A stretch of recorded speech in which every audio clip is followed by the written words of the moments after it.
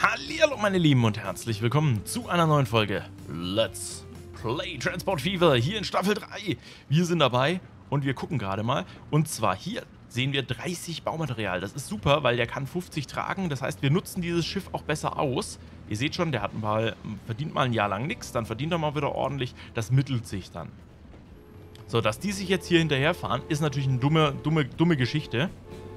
Wir könnten hier das Ding abreißen und gegen eine etwas größere Linie austauschen, damit die Busse nämlich ähm, mittig fahren können, damit die Trams an den Bussen vorbeikommen. Weil so fahren die sich halt auch ewig hinterher, ne? weil die Busse einfach langsamer sind. Wir sehen hier zum Beispiel, das ist der, der Peak des, der Blödsinnigkeit. Hier fahren zwei von acht. Das wird sich irgendwann rausmitteln, weil die Trams einfach besser sind. Ich weiß nicht, ob es hier klappt. Hier können wir es mal ein bisschen beobachten. Aber die fahren, die fahren hier auch nicht mittig. Die fahren hier wirklich den, Machen hier wirklich den, den, den Hals zu. Äh. So.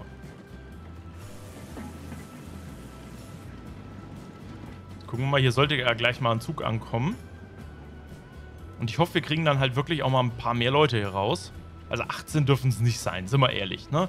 30, 40 wäre okay, 50 wären auch toll.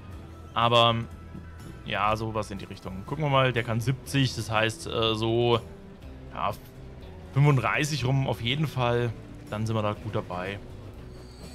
Immer die Hälfte von so einem Zug ist ein guter Richtwert, damit man merkt, ob der im Plus fährt. Aber das sollte jetzt besser werden, wie gesagt.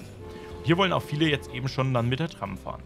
Passt mir ganz gut optisch gesehen ins Konzept. Und wir kriegen hier hoffentlich mal diesen Stau weg, weil hier waren unfassbar viele Leute rumstehen. Und die sind halt voll, ne? Also kannst du auch nichts anfangen damit. Jetzt müssten wir uns überlegen, was wir hier tun. Wir könnten eine 8 draus bauen. So rum. Ja, es schaut nicht so geil aus. Tram als Konzept nehmen, brauchen wir hier vielleicht noch eine Haltestelle. Die, fahren, äh, die müssten anders fahren. Ganz kurzer Check-up. Wie schnell ist so eine Tram? 40 km/h. Wir bräuchten also hier Busse, die auch 40 km/h schaffen. 20, 35. der hier, der Orion, wäre der schnellste, den wir so im Angebot hätten. Der wäre nicht ganz so lahmarschig hinten und unten rum quasi. Was haben wir dann? 4-7 gegen 3. Ja, das passt. Da machen wir hier einen Orion drauf. Machen ein Up Update drauf. Dann fahren die sich nicht mehr 100, 100 Mal hintereinander her.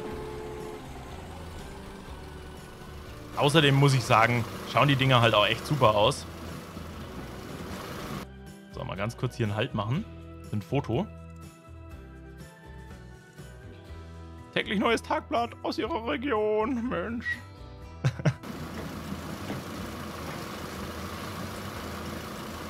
Schöne Dinger. Schöne Dinger gefallen mir gut. Ja, genau.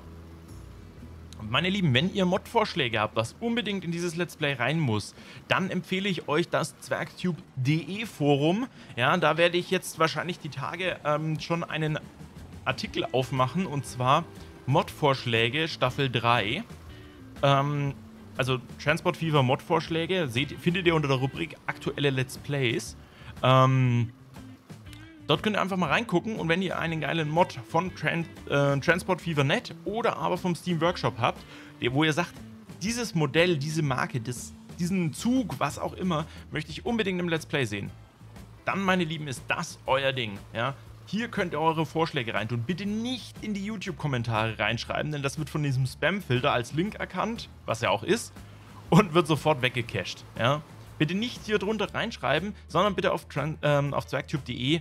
Ähm, es ist einfach besser, ich, auch übersichtlicher und ich kann dann auch eben drunter kommentieren, den Mod nehme ich, den Mod nehme ich nicht. Ja? Ähm, diese Zitate kann ich drunter basteln wenn es nicht jetzt 1000 Nachrichten sind. Aber ansonsten werde ich mir die langsam aber sicher durchgucken und vielleicht kommt der ein oder andere Mod von euch dann auch dann ins Let's Play mit rein, wenn er kompatibel ist mit dem Spielstand. Das werden wir sehen. Was haben wir jetzt hier? 36. Es wird mittlerweile echt viel besser. Finanzen? Ja, der macht auch schon guten, guten Deal. Momentan ein bisschen im Minus, sollten wir gleich haben. Die sind gut im Plus jetzt schon. 20 Millionen, locker flockig.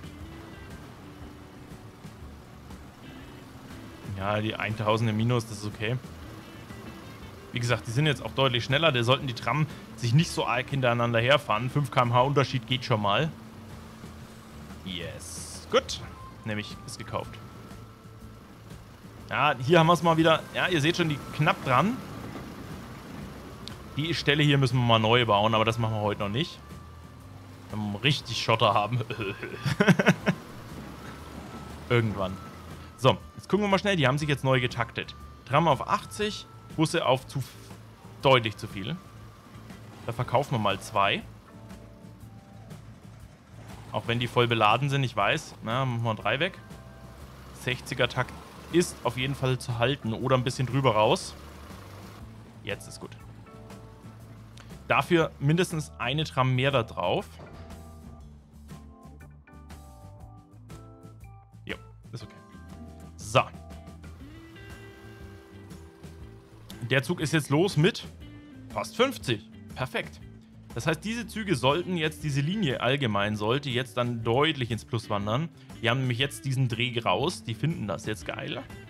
Gucken wir mal, Kreilsheim selber wächst schon ganz hervorragend. Wenn wir jetzt raus wollen mit einem riesen Bahnhof, müssten wir eventuell dann später mal was abreißen.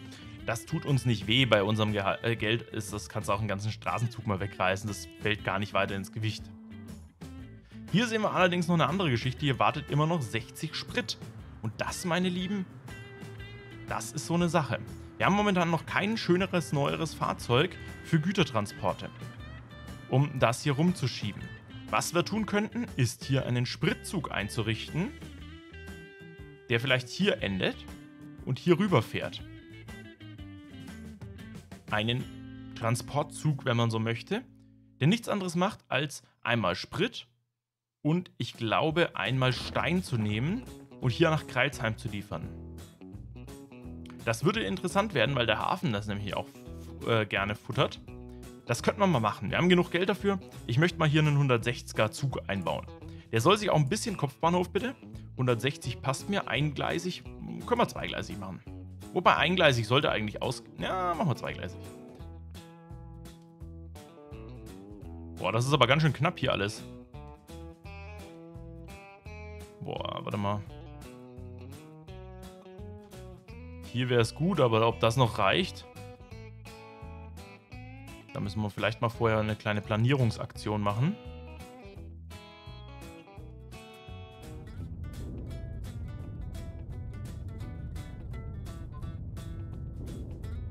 Gleich mal hier mal ein bisschen an.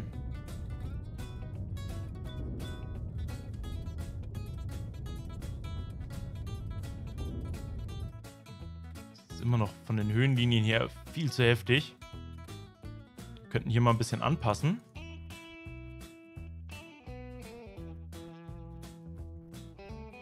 baue ich mal Höhenlinien.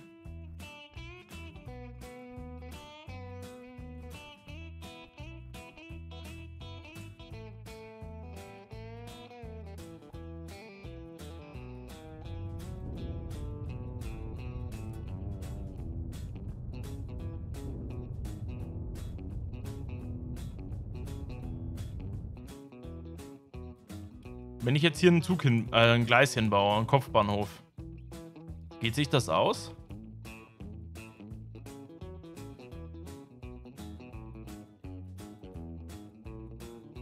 Jetzt probieren wir es mal aus.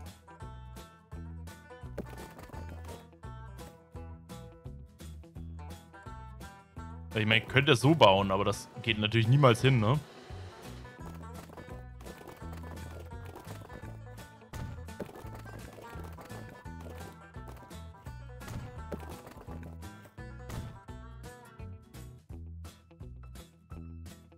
Der ist drin. Außerdem schaut es ziemlich cool aus.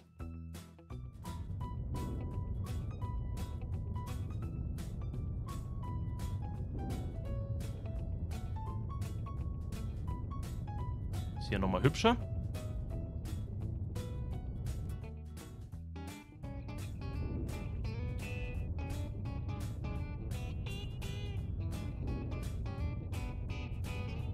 So.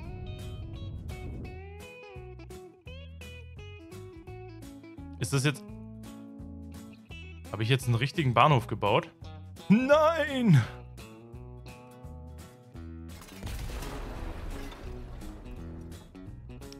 Bin aber heute auch schwierig unterwegs. So. Jetzt ist er richtig. Ich dachte mir schon, das schaut so, so nach Personenzug aus. Jetzt pass auf. Und das wird jetzt extrem anstrengend, hier eine, eine Lok rüber zu bekommen. Jetzt gucken wir mal schnell, wo ist der Ansatzpunkt hier oben wäre. Das heißt, wir bauen jetzt hier mal einen anderen Kopfbahnhof hin, in die andere Richtung.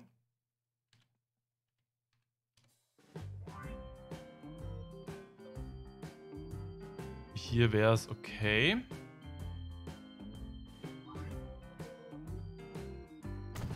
Machen wir auch. Später wird das geil werden, weil das dann in die Stadt integriert wird. Ne, später habt ihr dann hier einen, ähm, wie soll ich sagen, einen Bahnhof, einen Transportbahnhof innerhalb der City. Was ziemlich cool ist, weil dann wird das nämlich, die Stadt wird hier außen rum wachsen und dann fährt der Zug quasi in der Stadt ein, was ich auch extrem cool finde. So, jetzt pass auf, jetzt machen wir hier 100er Gleise rein. Probieren wir es mal, wenn, er, wenn wir dann jetzt automatisch bauen würden, was daraus wird. 8 Millionen kostet uns der Spaß. Wenn wir richtig aufbauen, kostet uns 10 Millionen. Das heißt, der, dieses Bauprojekt ist schon extrem. Wäre jetzt, wenn man jetzt sagen würde, wir wollen hier wirklich die möglichst geringste Steigung haben, dass die Züge, gerade Güterzüge, die ja beim Anfahren sich immer schwer tun, dass die hier wirklich 1A durchkommen, weil der fast keine Steigung hier drauf hat. Hier am Anfang ein bisschen, und der hat nur ganz minimale Steigung nach obenwärts. Könnte man machen. Schaut aber dann halt blöd aus, ne? Ähm, in diesem Let's Play will ich ja wirklich auch ein bisschen gucken, dass wir das auch ein bisschen hübscher hinbekommen. Und deswegen werde ich jetzt folgendes machen. Wir könnten jetzt natürlich auch sagen, wir wollen hier wirklich ähm, gerade bauen. Bringt uns natürlich nichts, kostet einen Haufen Geld. Machen wir automatisch. So, wir gehen jetzt hier mit einer Spur raus. Die dürfen auch ein bisschen langsamer sein. Dann gehen wir hier rüber. Und jetzt nehmen wir da bewusst nochmal ein bisschen mehr, weniger Steigung auf uns. Mal gucken, da kommt er. Und dann gehen wir jetzt hier 1A gerade rein. Jetzt muss man ganz kurz gucken. Das ist der äußere. Das heißt, der muss auch auf den äußeren, damit wir hier... Jo. So, dann nehmen wir den hier entgegen. Hat jetzt natürlich auch deutlich mehr, weniger Geld gekostet, ist ja klar. So.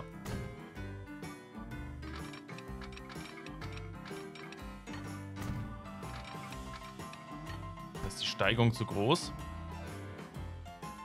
Wobei ich hier tatsächlich ein anderes Gleis drüber bräuchte.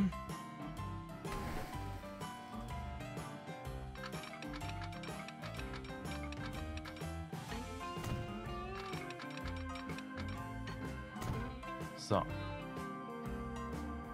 Okay.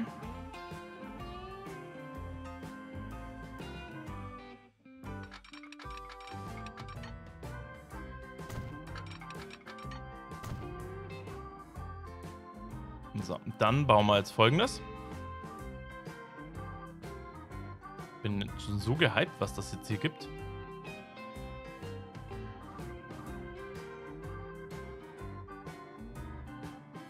Fahrtsignal, das ist der Klassiker, oder? Ja, ich glaube.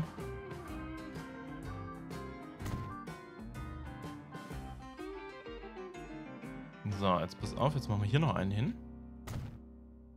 Ah, nein, anders.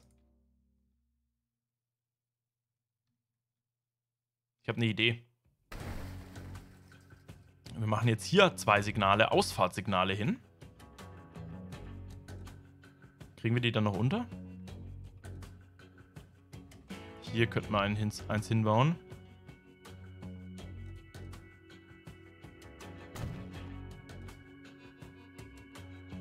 Aber hier kriegen wir keins rein.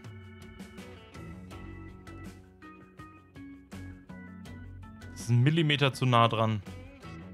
Okay, kein Problem.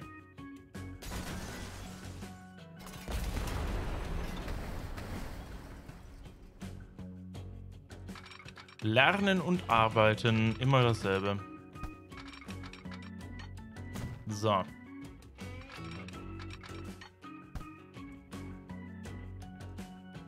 Ist das jetzt in die richtige Richtung? Ja.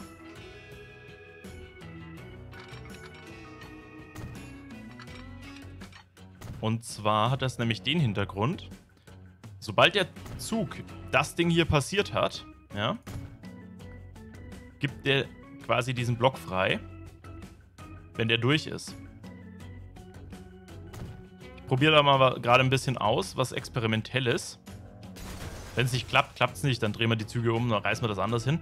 Aber das soll auch das gleiche Prozedere versuche ich jetzt auch hier aufzubauen, um die Taktzeiten runterzubekommen. Ich will nicht, dass das so 100 Jahre dauert, bis wir hier mal wirklich einen Takt haben. Dann können wir das nämlich auch schön über die Signale regeln. Dann gibt der nämlich den Bahnhof deutlich früher frei. Ich probiere das jetzt mal. Und dann brauchen wir hier auf jeden Fall nochmal ähm, diverse Fahrtsignale. Wenn hier wirklich später mal mehr Fahrzeug drüber soll, ähm, dann brauchen wir hier auf jeden Fall mehr Luft. Gut, so müsste es passen. Und jetzt machen wir folgendes, und zwar relativ easy peasy.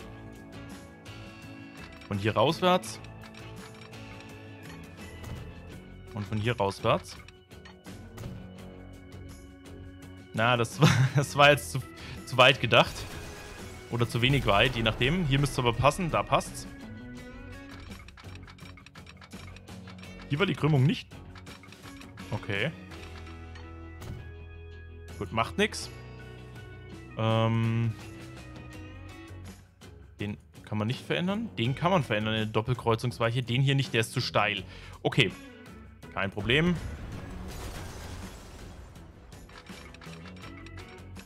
So müsste es aber hinhauen. Äh, was war das? Ach, cool. Wie gesagt, lernen und arbeiten. Wir gucken. Der ist auch noch zu steil. Gehen wir weiter von vorne raus.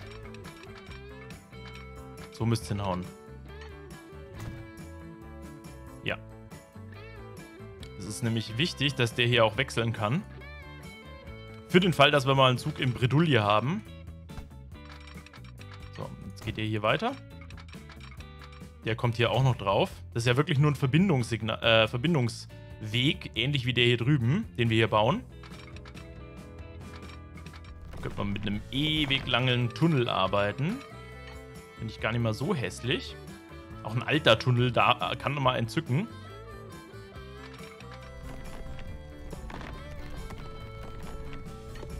So, machen wir das mal so. 1,7 Millionen, wie gesagt, kostet uns nicht die Welt.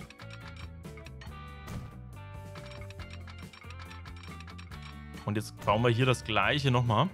Deswegen sind auch Zwischensignale relativ interessant.